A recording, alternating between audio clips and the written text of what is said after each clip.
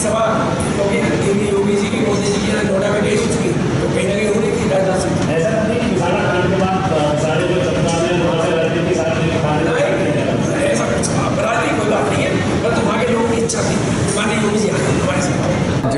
लोकसभा दो हज़ार उन्नीस का चुनाव आज होगा आपको हमारी भी क्या रणनीति बनाई गई है सांसद जी की? सांसद जी की दृष्टि से हम गौतम बुद्ध नगर लोकसभा क्षेत्र के अंदर गाँव गाँव में हमारे कार्यकर्ता खड़े हो गए हैं। बूथ बूथ वाइज हमारी एक बड़ी टीम खड़ी हो गई है और चुनाव में हम लोग इस लोकसभा को उत्तर प्रदेश की पाँच टॉप की सीटों में हम जीत कर लाएँगे। ये हमारा आप लोगों से वादा है। यहाँ के कार्यकर्ताओं के बल पर मैं आपसे कह रहा हूँ। हमारे पाँचों विधायक पार्टी के लिए लगे हुए हैं समर्पित भाव से। हमारी पार्टी के जिलाध्यक्ष ये आपके साथ हैं।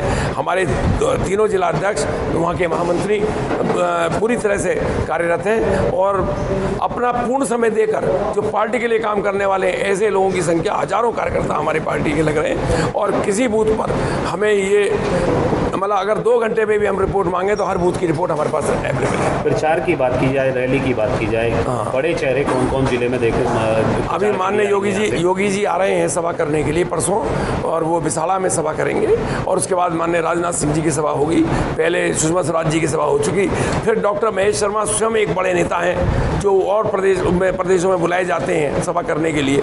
तो इसलिए उनकी सभाएँ भी जगह जगह रोज हो रही है तो इसलिए हमारे यहाँ और फिर कार्यकर्ताओं की उपलब्धता है विधायक हमारे लग रहे हैं विधायक भी सभा कर रहे हैं और का- जोश जनता का वो हमारे पक्ष में है। इसलिए हमें कहीं कोई ऐसी आवश्यकता नहीं पड़ रही कि हमको जोश पैदा करने के लिए बहुत ज़्यादा नेताओं की आवश्यकता है। की फाइट किससे है? किससे मानते हैं? हम किसे फाइट नहीं मान रहे हमारी जीत निश्चित है। हम कह रहे हैं कि हमारी जीत का मार्जिन जो है बहुत बड़ा होगा जो आश्चर्यजनक होगा ऐतिहासिक होगा इस लोकसभा के लिए। आज जो लोग नाराज़ चल रहे थे कुछ गाँव में सांसद जी के जो है ना आने पर बैन लगा दिया गया था आने कुछ पर अब कहीं कोई नाराज़गी नहीं है। कोई अगर थोड़ा बहुत होता है तो घर में बर्तन होते हैं तो आवाज़ होती है ऐसा कुछ नहीं है। कहीं जो नाराज़गी नहीं है नाराज़गी ये होती है कि प्रतिबद्ध हो जाए लोग कि हमें विरोध करना है ऐसा कुछ नहीं है। मतलब जो बर्तन नाराज़ चल रहे थे उनको सब ठीक हो गए सब ठीक हो गए ठीक हो गए कोई दिक्कत नहीं सब कार्यकर्ता लग गया कहीं कोई किसी कार्यकर्ता का विरोध नहीं है। और कारण एक और है कि महेश शर्मा जी ने इस लोकसभा क्षेत्र में ऐतिहासिक रूप से विकास के कार्य कराए और इसीलिए जीत भी ऐतिहासिक होगी।